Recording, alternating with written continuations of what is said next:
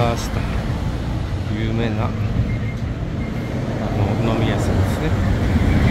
は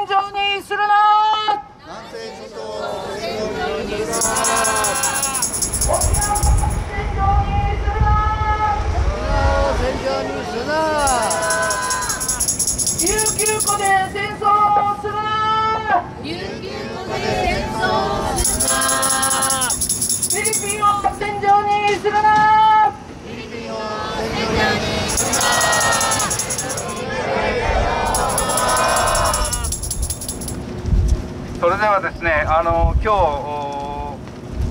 神奈川平和運動センターとして、えー米陸軍第5輸送中隊司令官宛ての文書をですね、えー司令官宛てとそれからあ当該の南関東防衛局の局長宛ての文書を作りました。でそれを今から読み上げてですね、え南関東防衛局からあ担当の方が来てますからあお渡ししたいというふうに思いますえっとねそのスピーカーの前電波が取れちゃうんだ。どっかにスピーカーあじゃああの読み上げます。えっ、と大陸米陸軍第5輸送中隊司令官殿お神奈川平和運動センター代表福田守横浜ノースドックへの米米軍揚陸艇部隊の配備と運用開始に抗議しその撤回を求める申し入れ書。私たちは神奈川県県民が安心して安全に生活ができるよう平和と民主主義を守り発展させるために運動に取り組むために結集した労働組合やさまざまな団体そして市民によって構成をされています。本日2月8日横浜港の中心部に位置する米軍基地横浜ノースドックにおいて米陸軍揚陸艇部隊の運用を開始しその式典を行うという米軍の発表がありました。防衛省を通じた横浜市への通知によれば第5輸送中隊と名付けられたこの部隊は在日米陸軍第10支援軍の下に置かれ約280名の要員は今年中に配置していく予定だということです。新しい揚陸艇部隊が第10地域支援軍の指揮下に置かれるということはこの部隊が米軍の対中対中国戦争構想であり構想である EARBO 機動展開前進基地作戦における遠征前方基地 EAB と言いますが戦争あ遠征前方基地への輸送手段を確保するためのものだということははっきりと示しています。つまり南西諸島をはじめとする日本列島やフィリピンなどの列島線を戦場にして米軍の主張する米国の国益のための戦争をするための部隊を横浜に配置するというこの戦争がこれらの地域に暮らす人々の命や暮らしを根底から破壊するものになることは言うまでもありませんそもそも2002年8月から2004年9月にかけて横浜ノースドックに揚陸艇などの揚陸作戦用の資材を運び込んだ時米軍は日本政府を通じて市民に対して無人の船艇の保管であって運航のための部隊の配置はなく運用はされないと説明し約束しました上陸作戦用の資材の横浜ノーストックでの備蓄は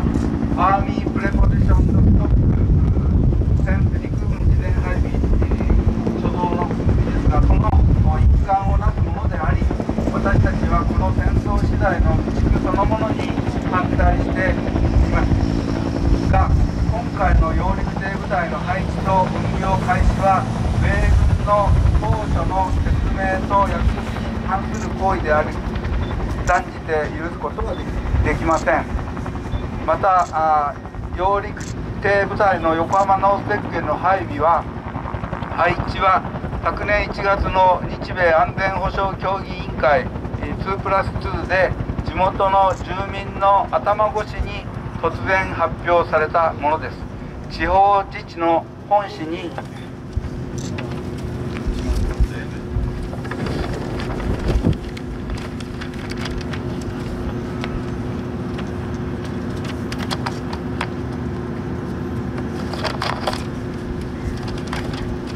すいません少し長いもんですから。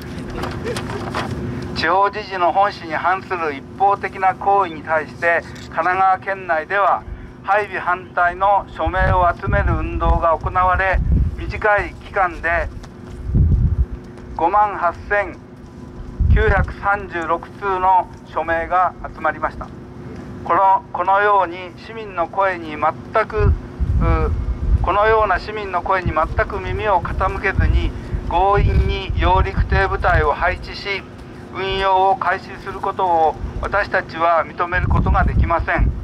そもそも地元横浜市は市を挙げて横浜ノースドックの全面返還を求め続けてきました。市民の総意としての返還の要望に応えず基地機能を強化することは住民自治を踏みにじる行為です。私たちは横浜神奈川県あ神奈川のみならず南西諸島東アジア東南アジア太平洋地域に暮らす市民の安全を脅かし民主主義や地方自治に地方自治に反する横浜ノースドックへの第5輸送中隊の配置と運用開始を強く抗議し以下のことを要請します。機関の権限のな外にある内容については横浜ノースドックの地元に暮らす市民の声として士官およ上官および米国防総省に伝えてください。えーときえー、まず1ですが横浜ノースドックへの第5輸送中隊の配置と運用開始を撤回し部隊を撤収すること2横浜ノースドックで市民を危険に巻き込む軍事行動を行わないこと3横浜ノースドックを即時返還すること。4南西諸島をはじめとする日本列島やフィリピンなどの列島線を戦場にする戦争の構想を直ちに破棄し破棄し米軍的あ軍事的緊張を高める行為をやめること。以上であります。この文書ですね、えー、本来は米軍の司令官に渡すものですがあ合わせて、えー、窓口である南関東防衛局にお渡ししたいと思いますのでじゃあよろしくお願いします。加藤さん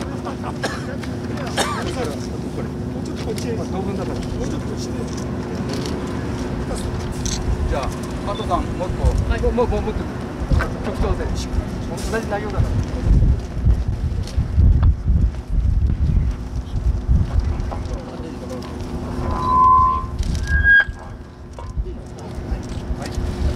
じゃあ、あの、よろしく、あの、よろしくお願いしますよ。はい、よろしくお願いします。ちゃんとやるよ、ちゃんと。ちゃんとやるよ。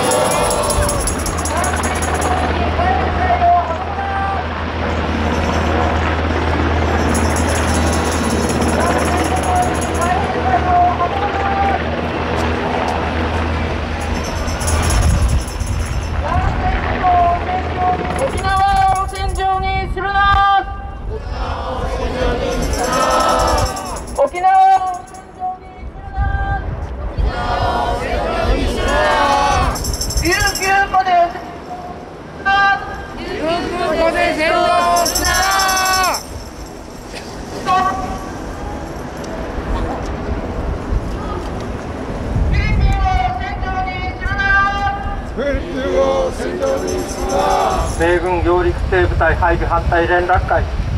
えー、共同代表の後藤と申します。私たちの連絡会は昨年6月に、えー、30から40ほどの団体が少しずつお金を集めて、えー、結成した連絡会です、えー、以後ノースドック配備反対特に県民署名に取り組んでまいりました、えー、昨年の4月16日に5名の配備をしてから10月に私ども県民署名、えー、6万近い県民署名提出した時に基地対策局の方に頼んでたらその後配備の動きは全く地には連絡がないという報告でした。しかし今年に入って1月17日に突然、えー、在日米軍があこの2月8日この日をもって、えー、この揚陸艇部隊の運用を開始するというふうに発表しました。私たちの署名県民の意思を無視した許し難い行為だと思います。本当に怒りを込めて、えー、告発したいと思います、えー、ロースドックにこの揚陸艇部隊配備する揚陸艇部隊今藤野さんからお話もありましたけども、えー、1隻53メートルもありまして、えー、小型というふうに政府は言っておりますが決して小型ではありません。戦車5台も積めるそして敵地に揚陸する出撃部隊になります。横浜港が米軍の出撃部隊になる、えー、戦争の拠点にある。ということで、えー、大変恐ろしいことだと思っております。皆さん昨年11月に屋久島でオスプレイ米軍のオスプレイが、え、空中で爆発して墜落するということが起こりました。このノースドックはそのオスプレイがアメリカで作られて日本に運ばれてくるその輸入の場所にもなっております。あのオスプレイもこのノースドックから飛び立っていって横田基地そして屋久島に行って爆発したものと思います。ということはこの横浜神奈川でいつオスプレイが爆発墜落するかもわからない大変危険な状態に私たちは置かれていることになります。このオスプレイの運用これも絶対に許してはならないというふうに思います。特に今回の米軍の発表でこの部隊第5輸送中隊という名前だそうですけども沖縄読谷村に基地がある米軍の、え、陸軍の第10支援軍というそういう大きな部隊の指揮下に入るというふうにいます。ということはこの横浜ノスドックが沖縄南西諸島の米軍の、えー、この基地整備、えー、台湾有事に備える戦争の準備に大きく関わることになります。こんなことを絶対許してはなりません。私たちはこのノースドックの早期全面返還アメリカ軍の揚陸艇部隊配備撤回まで運動を進めたいと思います。どうか市民の皆さん私どもと一緒に力を合わせて配備撤回全面返還実現まで頑張りましょう。えありがとうございました、え配備撤回市民連絡会の後藤さんからアピールをいただきました。何としてもこのノースドックの新部隊言うまでもなく戦争のための基地このことはより明らかになりました。そういう点で私たち市民団体労働組合多くの方々が力を合わせてこの配備を中止させる。そしてノースドックの一日も早い返還を求める。こうした取り組みをこれからも続けていこう。こうしたアピールをいただきました。引き続きアピールをさせていただきます。神奈川平和運動センターの加藤事務局長からお願いをいたします。ありがとうございます。えー、神奈川平和運動センターで事務局長を務めます、えー、加藤と申します。実は、えー、私、え横浜市民でありますが、え実は先日先日とかつい最近ぐらいまでですかね。あのはいあすいません。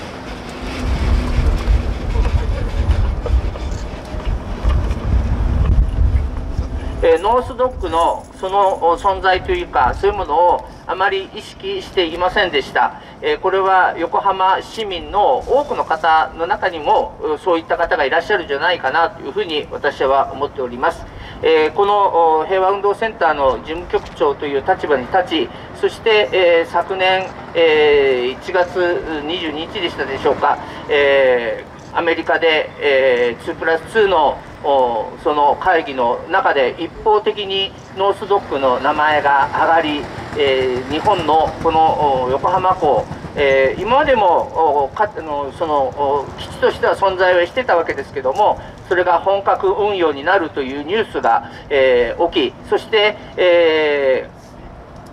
昨年、あ昨年じゃないあの、昨年ですね、もう昨年になりましたけども、えーその配備反対の署名に取り組み、そして今、こうして多くの方々とこういった反対に向けた取り組みをしている、まあ、そういった中で、自分の中な中で、えーこのノースドックという存在が、えー少しずつ、理解を深めてきているというような、えーまだ発達途上のものです。えーかつてここに、えーえーベトナム戦争のですね、えー戦車を送る、阻止するという、えー取り組みがあり、えそのかつてはその戦車を止めた戦争闘争闘争という大きな、え運動があったということもその後知りました。え本当に、え沖縄あの横浜というと、どちらかというと平和な港町というようなイメージが先行するんですけれども、決してそういった、えー安穏としたところだけではなく、あのある意味、そういった世界とその戦争、平和の部分で、えーまあ、しのぎを削っていた一面もあったんだというところを改めて認識しているところです。そして今、えーこのノースドック、実は、えー昨年の1月に、えー別の横浜のある別の基地の係のことところで、えー横浜市に基地対策課に対基地対策課に対して申し入れを行っていました。その1週間も経たないうちにノースドックの話が出てきております。えー後で、えー基地対策課に、えーそのことを聞いたところ、全く寝に水の話だったと。えーおかしな話です、えーここの施設管理といいますか、そこの責任ところは、え横浜市が、えたに担っているにもかかわらず、そこの当該のところには全くの連絡もなく、一方的に、えその協議された、協議というよりも、これは一方的にアメリカから押し付けられた、言われたというようなところが現状じゃないかなというふうに思います。日本の主権はどこにあるんでしょうか。この間の日米地位協定、えーその他のもので、えー日本の主権が侵されている、そういった現状を感じる中で、ここでもまた日本の主権が侵されていく、そういったところがあるのではないでしょうか。えー私の中ではやはりそのことに対して強い怒りを覚えるところです。えーぜひ、えー今後、ここで、えー本格的な運用が始まるとなれば、えー今まで以上に、えーその揚陸艇部隊の船舶が行き交うことになると思います。となれば、当然、今まで、えー民間で使っていた船舶に対して影響がないはずがありません。どちらを優先するということになれば、えー日本のその民間機が、民間船が優先されるのであれば、それはいいですけど、どうもそうではないのではないか。アメリカに都合によって、えーその民間の船舶の運航が制限されたりするのではないだろうか、あるいはまた大きな、えー危険物が、えーここに運搬される可能性はないのだろうか、さまざま心配になるところです。え私たちはやはり、え日本の国内に、えーアメリカ軍の基地を強化していく、そのことが本当に日本の主権になっているのか、日本の、えーためになっているのか、それは、えー違うだろうと、一方では、え国際社会のさまざまな緊張の場面を例にして、日本の安全保障に対する不安をかきたて、えー日本の抑止力強化というような、え取り組み流れになっておりますけど、そのことが決して日本の平和を守る取り組みになってないということをお引き続き声を上げていきたいと思います。よろしくお願いいたします。米軍加藤さんからは一体この国の主権はどこにあるんだというご指摘がありましたと同時にご案内の通りかつて飛鳥田横浜市長米軍の戦車をこの場所で止めたという輝かしい実績がございます。今横浜市長にしても神奈川県知事にしてもそうした態度が問われていると思います。曖昧な態度に終始している横浜市長そして神奈川県知事に対してこの港湾横浜市の管理下にありますアメリカの言うことを聞いてるんじゃなくてまさに地方自治の本心に基づいてきっぱりとノーという判断を中止しろという判断をするように私たちは引き続き迫っていこうではございませんか。引き続きアピールをいただきます。今日は市民団体の多くの方々も結集をいただきました。本来団体ごとにご挨拶をいただきたいんですが時間もありませんのでこのノースドックのある神奈川区神奈川3区野党共闘を求める市民の会の中原さんからアピールをいただきたいと思います。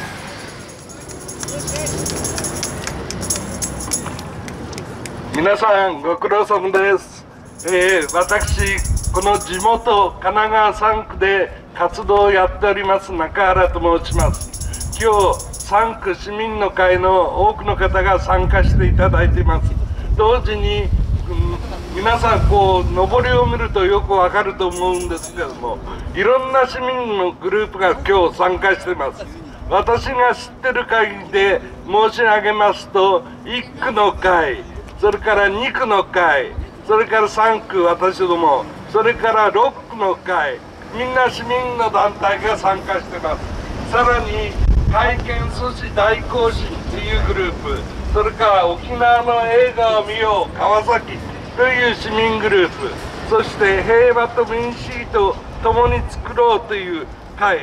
そういう市民グループが参加しています。そういう意味では皆さんの市民グループの皆さんの意見を代表するわけではないですけれども私はちょっと神奈川3区の活動を紹介したいと思います。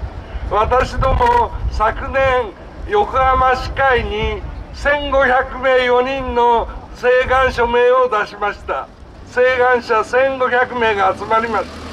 たそして初めて私は私どもは市議会においてこういうのオスプレイだとかあるいはノースドックの問題が新会で議論されるようになったのはそれからだと思います。実は昨日対策特別委員会司会が開かれています。その中で、えー共産党の宇佐美議員立憲の荻原議員この2人がこのノースドックの問題に触れました。でもほとんど他の議員は無視というか勝手に喋ってろというような態度です。ほとんど無視されてます。皆さんましてこの運用開始を連絡してきたのが1月17日です。その前の日何があったか知ってますか？市議会の決議ノースドックを返還しろという決議を1月16日に政府に提出してるんです。その答えが運用開始って答えですよ。これほど市民をバカにした話がありますか？まして横浜市も態度ははっきりしない。遺憾だとは言ってるけど態度がはっきりしない。例えば去年オスプレイが5月に来てますよねここへ。それが分かったのは市民からの通報で分かったんです。市民の通報で市の職員が見に来たらオスプレイがいたと。そっから話が始まってるんです。ところが1年その前を見ても同じ時期にオスプレイっていうのは来てるんです。すでに定期的にオスプレイっていうのは来てるんです。そういうことは横浜市が知らないのか調べないのか。いずれにしても市民は誰も知りません。こんな危険なものが頭の上を飛んでいるっていう事実が伝わってないんです。それが横浜市の怠慢と言えないでしょうか。私は基地対策課に行った時にお前らは何を調べてるんだと。例えば13隻の船が増えませんよと言っていると。ところが船のナンバー名前を控えてないのに米軍の船が増えたのか減ったのかどうして分かるんだ。それほど横浜市は調べてないんです。我々が大きな声を上げそして市議会でもっと論議させそしてことによってこのノースドック返還運動っていうのは広がっていくと思います。ぜひ私たちもこれからも活動を続けていきます。あるいは多くの今日集まっていただいた市民のいろんなグループが運動を続けていくと思います。もっともっと大きな声を広げていきましょう。よろしくお願いします。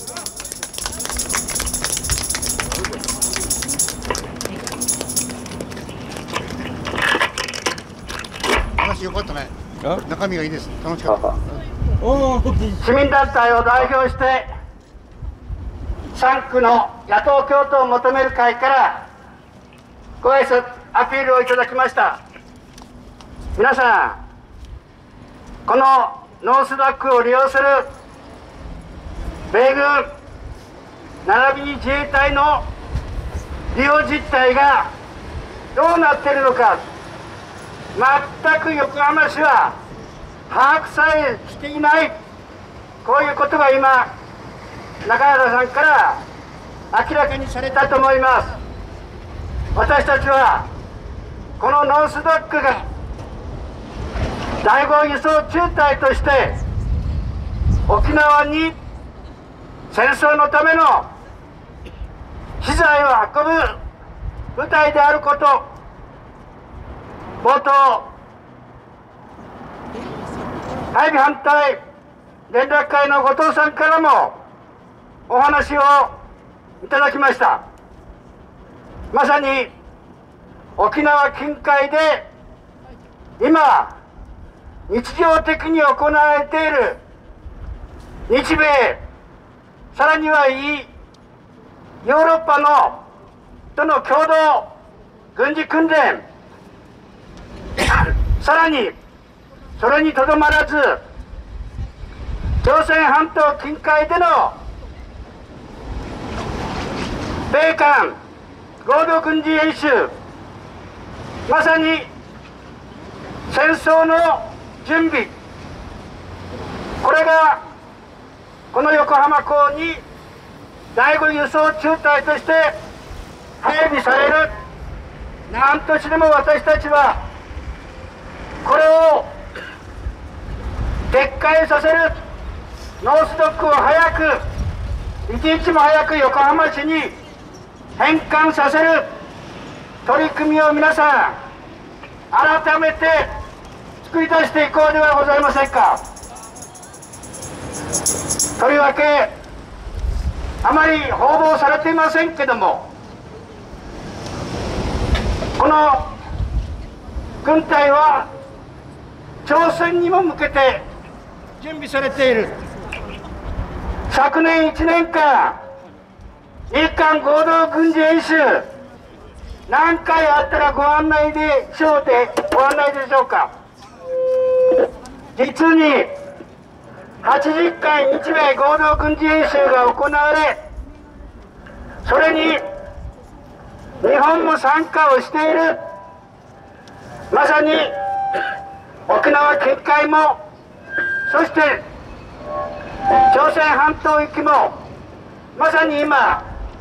アジアで戦争が引き起こされようとしている。このことに私たちは今一度このノースドックがどのような機能をこれから果たそうとしているのかこのことを一人でも多く周りの市民県民に伝えていこうではございませんかまだまだこの問題についての無知や無自覚こうした状況を私たちの力で変えていくために今日のこの集会を出発点にして引き続きノースドックに揚力艇部隊はいらない配備を中止しろノースドックを一日も早く返還しろという取り組みをぜひ皆さんこれから引き続き取り組みを進めていこうではございませんか。そして皆さんのお近くの住まいの市会議員県会議員にもですね先ほど中川さんの話にもあったように全く議論されていないような状況これをどう変えていくのかかりと議論してほしい。私たち市民の命と暮らしに関わるこの危機問題。ぜひこれからも共に戦いを進めよう。このことをお互い確認をして本日の集会を終えていきたいと思います。皆さん今日この集会で終わらせるんではなくて夕方からあるいはこれから配備撤回市民連絡会の皆さんは東神奈川の駅で引き続き凱旋行動を展開をします。また他の市民団体も今日5時から高島屋前で同様の凱旋活動をします。人でも多く市民の皆さんにこのノースドック今日式典をやっている。会議がいかなるものであるのかこんなことを知らせていこうではございませんかそのことを再度確認をして本日の集会をこれで閉じたいと思います。はいご苦労様でございます。それでは、えー、三区市民じゃあ、はい。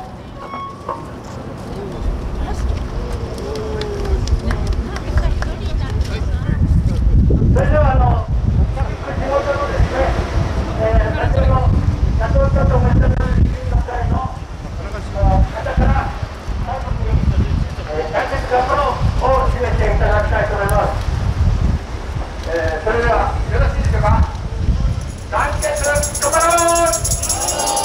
ありがとうございましたどうもご苦労様でございました By the end of this year, further, you will deploy 280 personnel.